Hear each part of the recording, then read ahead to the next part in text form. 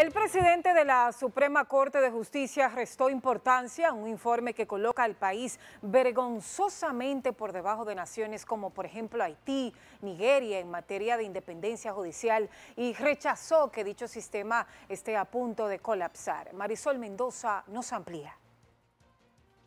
El presidente de la Suprema Corte de Justicia negó que el sistema se encuentre al borde del precipicio, como vaticinan algunos sectores, ello a pesar de los constantes escándalos de corrupción y denuncias que colocan al Poder Judicial en el ojo de un huracán de cuestionamientos.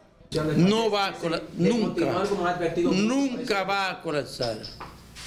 La República Dominicana vivirá, seguirá viviendo y se fortalecerá.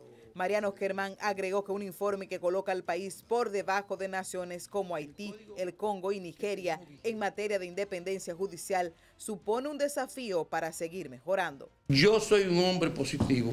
Lo veo y lo interpreto como una aspiración y como un desafío para seguir luchando sostuvo que cuando se producen acontecimientos que parecen violentos en términos sociales, los niveles de los informes suben y luego bajan. No pongo en duda los informes, pero no creo en los informes como creo en Dios. La justicia es una aspiración permanente y seguimos trabajando para mejorarla mientras que el presidente de la Asociación Nacional de Jóvenes Empresarios, Raúl Hoyo, lamentó que el país suele estar tan mal valorado, por lo que aboga por el fortalecimiento institucional. No es solo el sector público que sale mal en la parte de institucionalidad y de corrupción, sino todos los dominicanos.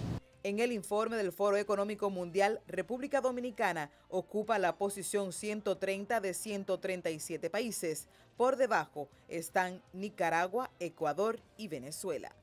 Marisol Mendoza, Noticias 23.